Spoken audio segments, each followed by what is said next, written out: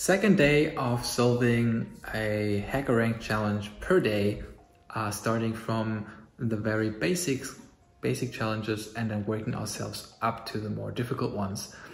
And uh, that means let's get to our next challenge, which is apple and orange. Solve challenge. Let's read what this one is about. Sam's house has an apple tree and an orange tree that yield an abundance of fruit. Using the information given below, determine the number of apples and oranges that land on Sam's house. Is that Sam's house? Uh, the red region denotes the house, where S is the start point and T is the end point. Okay. The apple tree is to the left of the house and the orange tree is to the right.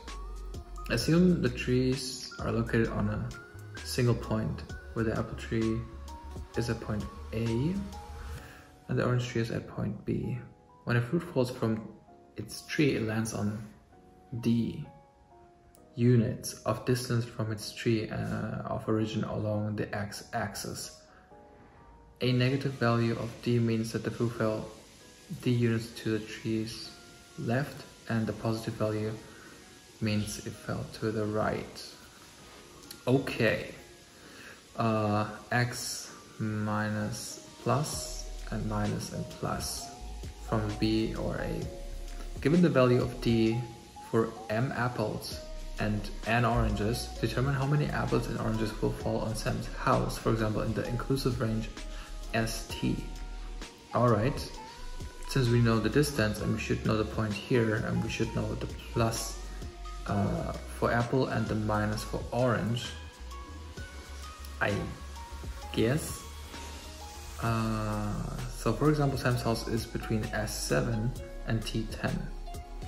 The apple tree is located at A4 and the orange B orange at B12. There are three apples and three oranges. Apples are thrown apples 2, 3, 4, which means we can ignore the minuses here.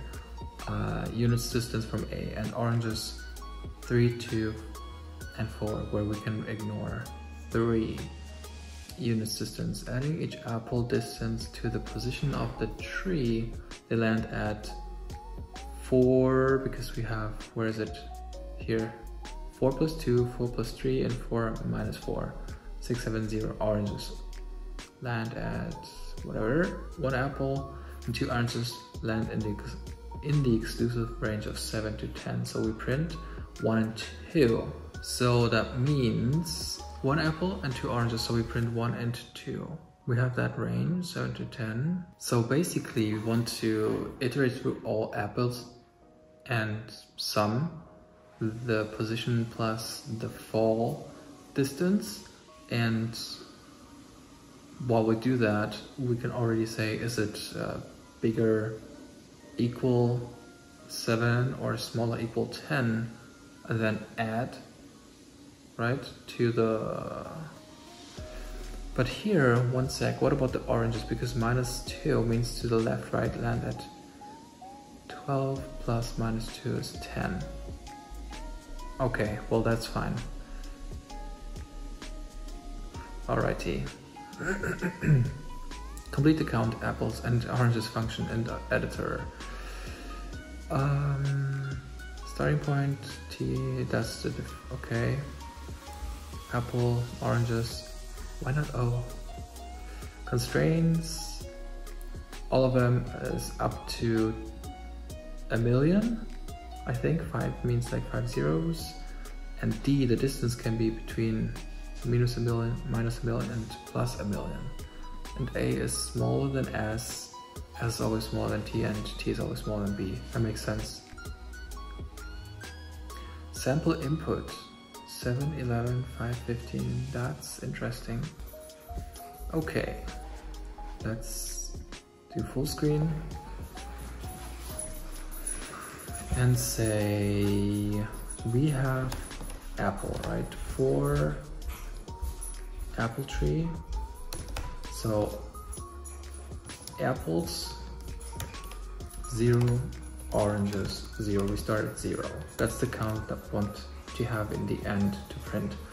And then so for apple and apples, It's the integer. We want to say um,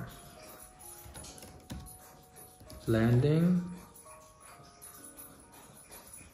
is apple plus the a plus apple and then if landing is bigger equal s and uh, or.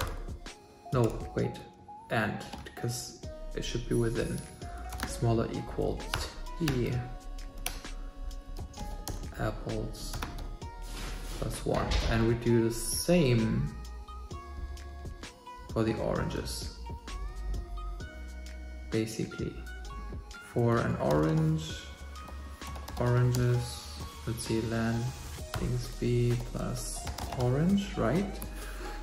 And then hmm. Uh, whoops orange plus one. I wonder if that's correct. So let's think about it for short. So we have the apple distance that's plus the whatever apple fell. And if it's here bigger equal s and smaller equal t yes and the same for orange. And then we want to say print apples print oranges and run. Processing error. Okay. Whoops. What did I write oh, of course. Landing. Landing and landing. Run. Compilation errors. Apple in apples. Sequence.